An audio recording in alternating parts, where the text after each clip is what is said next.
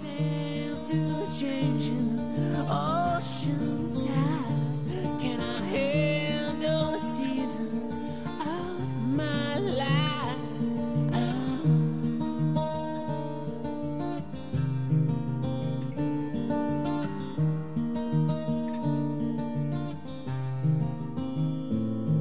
I've been afraid of changing cause I